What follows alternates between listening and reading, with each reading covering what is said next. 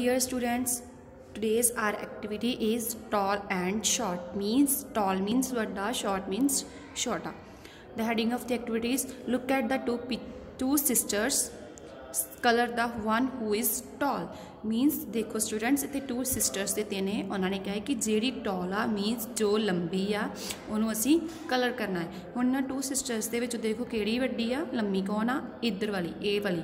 ਇਹ ਸ਼ਾਰਟ ਆ ਇਹ ਛੋਟੀ ਆ, ਹੁਣ ਅਸੀਂ ਕਿਹਨੂੰ ਕਲਰ ਕਰਾਂਗੇ? ਜੋ ਵੱਡੀ ਆ। ਤੁਸੀਂ ਕੋਈ ਵੀ ਕਲਰ ਲੈ ਸਕਦੇ ਹੋ, ਠੀਕ ਹੈ? ਉਹਨੂੰ ਇਸ ਪਿਕਚਰਸ ਇਹਨੂੰ ਕਲਰ ਕਰਨਾ ਹੈ, ਠੀਕ ਹੈ?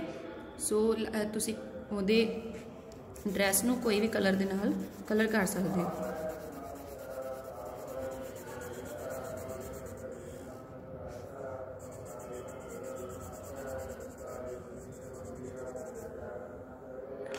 ਬਲੈਕ ਹੇਅਰ ਜਿਹੜੇ ਆ ਬਲੈਕ ਹੁੰਦੇ ਆ ਨਾ, ਠੀਕ ਹੈ?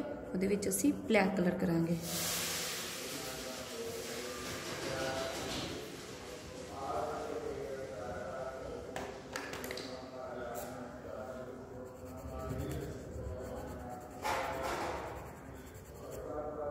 ਸੋ ਇਸ ਤਰੀਕੇ ਨਾਲ ਸਟੂਡੈਂਟਸ ਤੁਸੀਂ ਵੀ ਇਹਨੂੰ ਕਲਰ ਕਰਨਾ ਹੈ ਠੀਕ ਹੈ ਥੈਂਕ ਯੂ